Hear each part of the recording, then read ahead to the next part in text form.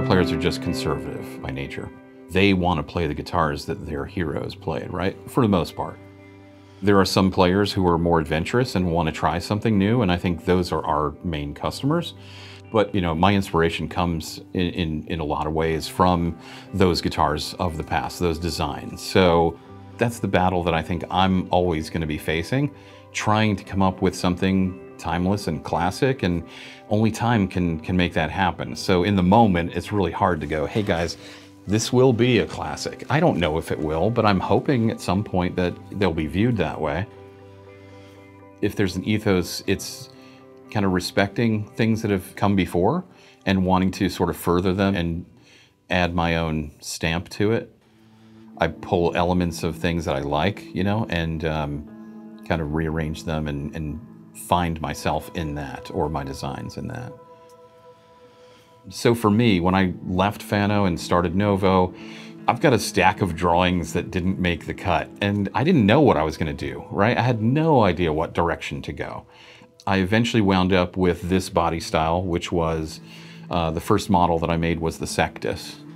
The Serus line came after the Sectus, but shared the same silhouette. So I was looking at things like the RB6 and the JM6 and thinking, well, how can I take elements of those and kind of combine them? Truly going beyond, here's a Jazzmaster shaped body that's got P90s and a Tune-o-matic and stop tail, which was not, you know, a, a super like heady way to look at how do I blend these things. I was literally taking elements and kind of like, you know, kind of feeling my way around the idea of design. And I feel like that's evolved over time. So where I would take certain shapes, body lines and things and kind of see how I can kind of blend them together. And I think that's how I wound up with the, the Sectus shape, which is now the Serus shape. So it was more like moving things around, kind of squishing them, stretching them, pulling them, and you know, kind of arriving at something that I could walk away from and come back a couple days later and not hate. My design process was pretty primitive back then. I use Illustrator to design now. I didn't have access to that. I, I, I, wasn't, you know, up on, on Illustrator. I was literally drawing everything with, uh, you know, pencil and paper. It was a pretty messy, cumbersome process, but it worked. It, you know, eventually worked. But there, like I said, there is literally a stack of drawings of things that just, I didn't, I didn't know where to go. Just like with the design work, I threw around a lot of different ideas for, for the new name. First of all, I was looking for a Latin word. I thought about the origins of my name, my family, at least half of my family coming from Italy, that uh, the language that they spoke centuries ago would have been Latin. And I thought, okay, let's let's find a Latin name, right? Sh shake things up a little bit. Because the other thing I didn't want to do is pick a name and then find out somebody was already using it or whatever. So I thought if I go a little off the map here. So when I found the word Novo, looked it up, what it meant, it meant to make anew. And I thought, okay, that kind of works. And then when I started looking at the word novo, I found even deeper meaning. It begins with NO, which is where Fano leaves off.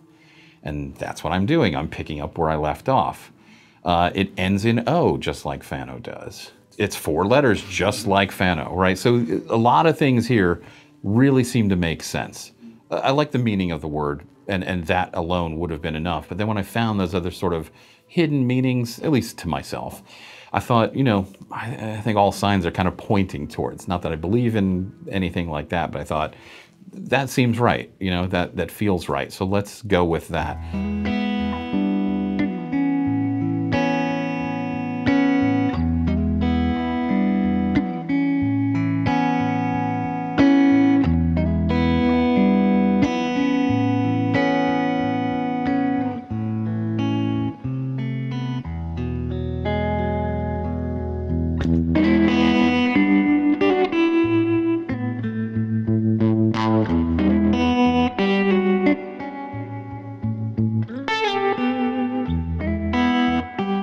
Much of a player. And, and, you know, I'm I don't know if I'm in the minority there as far as guitar builders, guitar designers.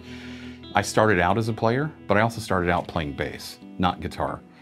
When I got my first real bass, which was a 66 jazz bass, it wasn't long after I got it, and the thing had already been stripped down. But it didn't take long for me to start pulling that thing apart and seeing what else I could do with it. Now, I had zero prior knowledge or, or experience with guitars or basses and um, didn't know what I was doing. At one point got a, a Warmoth eight string neck, bolted it onto that thing, got an eight string bridge, uh, carved out uh, very crudely a third jazz bass pickup up by the neck. I added another control plate that kind of like dovetailed into the existing control plate. Uh, the thing was gnarly. Doing that was kind of like the most fortuitous thing I could have done because the one thing I couldn't do in turning this four string bass into an eight string, I didn't know how to make a nut. And there was a, a, local repairman that a guitar player that I was in a band with said, I bring my guitars to this guy, you should go check it, you know, check him out, see if he can make a nut for you. So I brought the, uh, the instrument over to uh, this guy, Daryl Gilbert, who worked at Gibson. He worked at the showroom in, in Midtown. I was in New Jersey at the time. And he said, uh, all right, let me make a nut for you. Came back a few weeks later when it was ready. He had made a brass eight string nut for, for this thing. And uh, while, when I'm picking it up, I just asked him kind of casually, I went, how do you get into this? Like what, you know, how do you start building guitars or repairing guitars? He goes, you know, probably an apprenticeship is a good place to start. He goes, what, you want to hang out here and like learn some things? And I started doing that. And that just kind of snowballed into, you know, everything that I'm doing now. I do most of my design work at home in my office. I try to do as much building while I'm here as I can. The signature guitars are the, are the guitars that I get my hands dirty with. I design those guitars. I will often mill the materials, you know, for the neck and the body, although they're executed, cut on the CNC. And we have great guys in fretting that do a better job than I can do, and I'd rather have them fret those guitars for me. What I like to do, I work weekends. I'm here when nobody else is here. It feels more like the way it was when it was just me, whether it was starting Fano or starting Novo. And, and it's just a great time to kind of get in here, crank up whatever tunes I'm in the mood for. But one of my favorite things to still do, like top line item, is I love sanding. I know some people view that as like a dirty, messy job and it's like an entry level position for a lot of companies. I get it, but it's just for whatever reason, I enjoy it. Love sanding. I love taking something and sculpting it, shaping it, and and you know, refining it. And that's I think it sort of ties into my you know kind of design process. But when I made the decision to move to Nashville, part of the reason for doing that was I knew that we'd have a good uh, talent pool for us to kind of tap into. Knowing that, you know, Gibson was in town, they of course are going to just, you know, have a, a certain draw there, right? That that we wouldn't have on our own. What I do have is a great team that we've amassed over those six years, and uh, I've got other people that I can rely on to train new, new, you know, employees, new hires. Uh, you know, when we first moved here, I was still doing the distressing on all the guitars. I was doing the final play test on all the guitars. There just isn't time to do that. As I said, luckily I've got people who are, you know, uh, completely competent to do that as well, if not better than I did. So, you know, it's a, it's a really good position. It's a favorable position to, you know, for me to be in, so.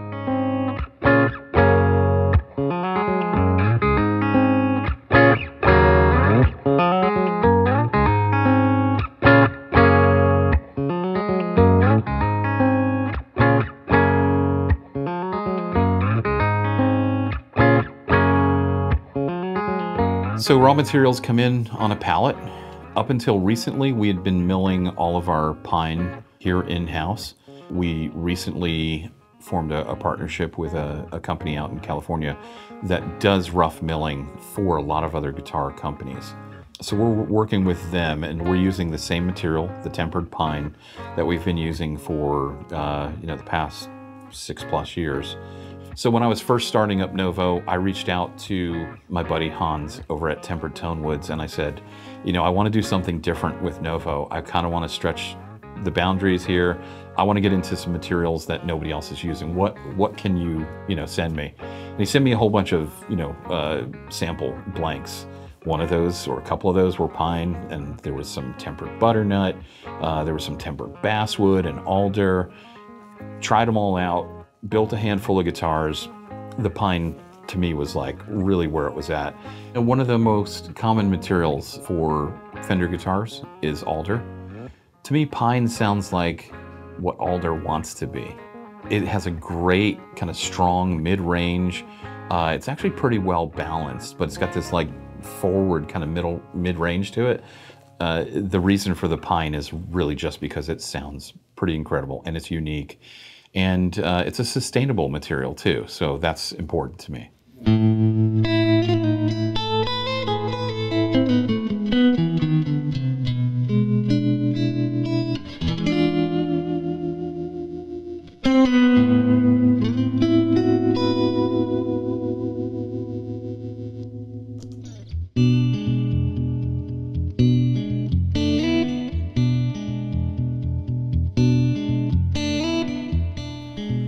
We cut our necks and bodies on the CNCs, and there's a reason why every major successful guitar company that you go to, they're using CNCs. CNC machine is a computer controlled milling machine, a router that will take the programs that we create here. I take my drawings and I hand them to John, our programmer.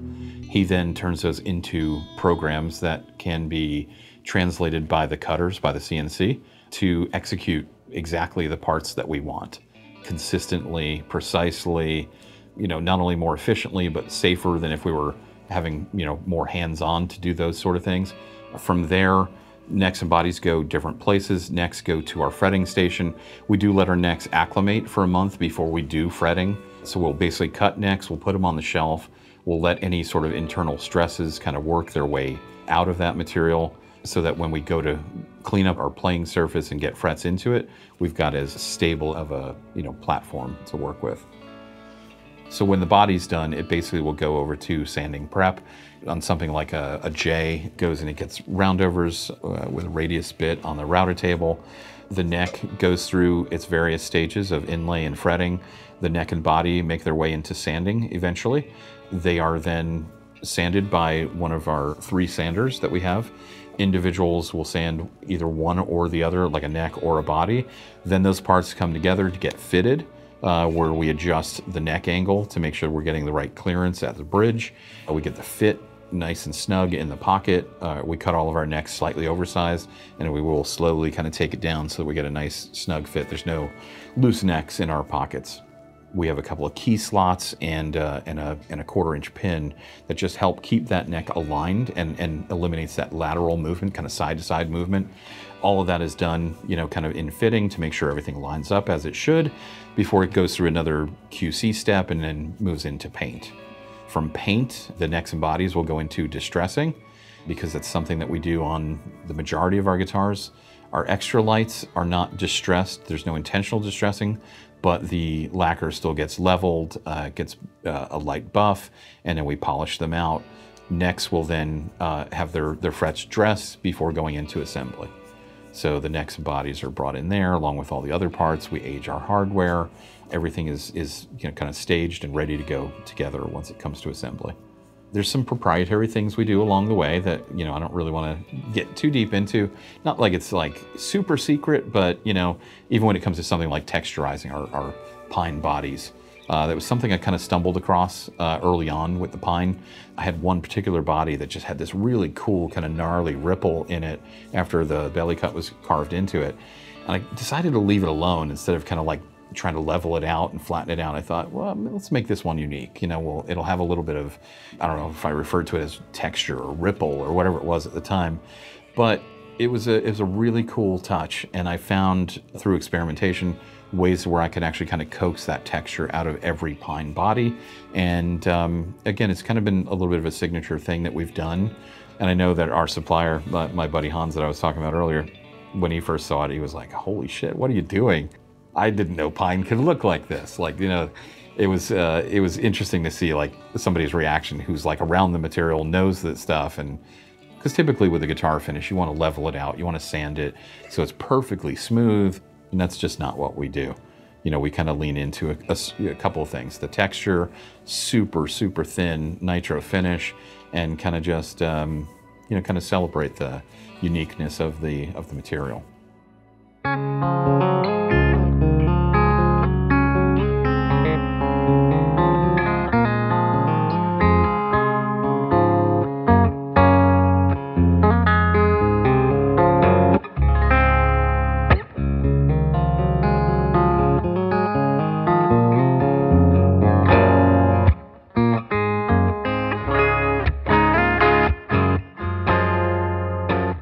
Started working at Matt Umanoff Guitars in Greenwich Village in 95. And I think it was around then that the custom shop, Fender Custom Shop, started putting out, you know, things like Blackguard tellies and stuff. And I started incorporating distressing uh, into my builds probably in 2006.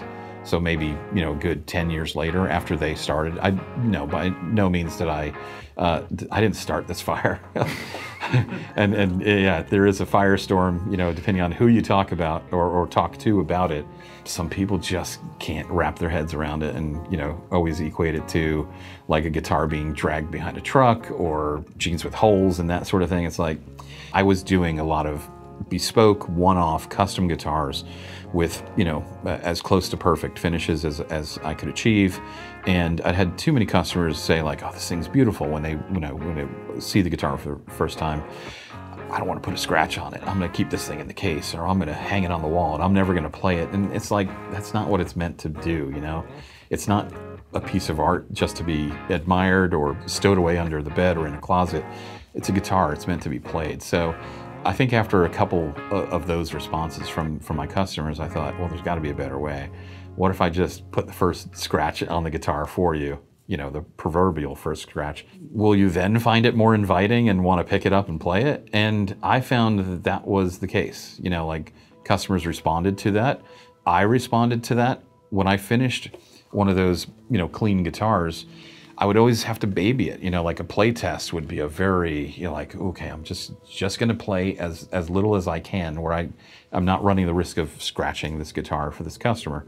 Uh, and when I started doing the distress finishes, it was like, man, pick up that guitar, play it for an hour, crank it up. Like I just felt like, man, I could really dig into it, and that's what the guitar should be. It should be inviting. It should, you know, kind of draw you in and make you want to not just pick it up, but not want to put it down. That's the thing. And that's what the distressing does for me. I, I, like the feel of a guitar that's kind of broken in. Main thing is not having lacquer on the neck when possible. I've made plenty of guitars with lacquer on the neck, but I, I prefer the feel of a, a nice raw maple neck.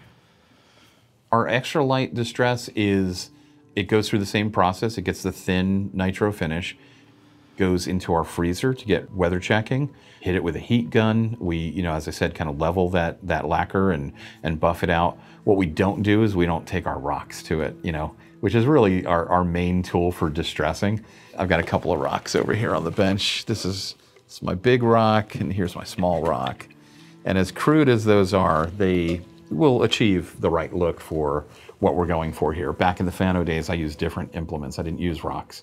I was using like hand tools, like screwdrivers and chains and stuff like that. Like it was a very different thing. So I don't know why rocks, but I just thought like, I don't know, it seemed to make sense to me at the time.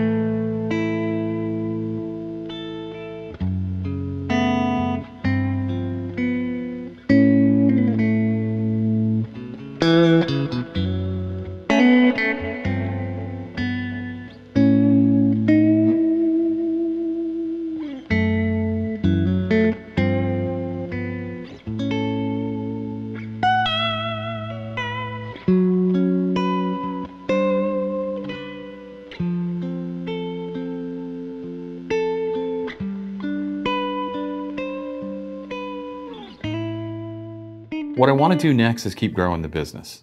I have a strong urge to keep growing this place. We are currently building about 20 guitars a week. And I think in order to, to meet the demand and also my desire to build something bigger and more substantial, you know, I'd like to see us continue to push that number. We're going to need more space. We're, we're kind of busting at the, at the seams here. I think there's only so much we can do on our own. We went direct back in 2020, although that was a really good move for us at the time. I think things are changing and there's a need for us to look at other resources that would be beneficial to us. I think Reverb is going to provide a, a very great service and uh, not only to us but to to the customers in the end. It's going to help us, you know, get a little bit more exposure. You know, we have a, a pretty loyal following, but if we were to look at it, the, the number of people who are even familiar with Novo, that know that we exist, is, is pretty small. When it comes to reach, uh, I don't think there's any topping reverb. I think you guys are, are, are great at what you do, and partnering with you uh, in this way is, is, a, is a really good thing for us. Because I've specced out, I think so far, 30 guitars for reverb. We have some very interesting things coming your way. The main thing that I wanted to do was, you know, have guitars that are unique and uh, that's something that I'm I'm kind of always looking for. It's not always possible when we're you know taking orders for for instruments that we offer. You know, there's a set amount of uh, options that we offer, that sort of thing. I'm looking to kind of stretch beyond that a little bit and have some guitars available through Reverb that have some some things that we haven't done before. Specifically, things like uh, a Voltur with a Mastery. We've had a call for that many times over over the years, and I've kind of dug my heels in and said, no, the Voltur is what it is. I think it's going to make for some really interesting instruments. The, the instrument itself, that that body style, is just kind of calling out for you know for something more uh, than just the, that chopped telly bridge that we put on it uh, as a standard thing. There's a lot of real estate back there. There's it's the perfect spot for something like that. You know that offset trim, and um, we have uh, some Idrises coming your way that are going to have two humbuckers. The standard Idris, as it stands right now, what we've referred to in-house as the S3, has three Strat pickups, but we've got some H2s with two humbuckers. Still has that great man-made tremolo. I've got a long list of other things that I want to get to. But I think the idea of, of kind of keeping the guitars unique uh, is, is a really, you know, fun thing uh, for us to do and uh, a great way for us to, you know, start this partnership.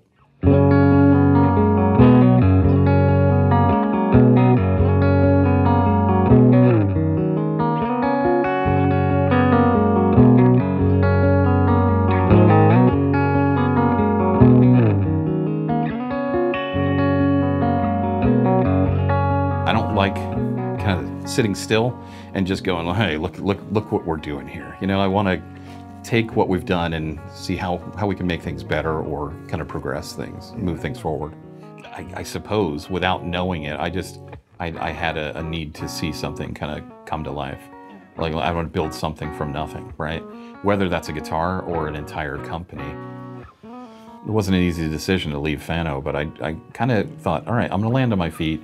I'll figure something out and I'll, I'll figure out what that next thing is going to be. And, you know, I want it to be substantial. I want it to, to, to really be a, you know, a contender, you know?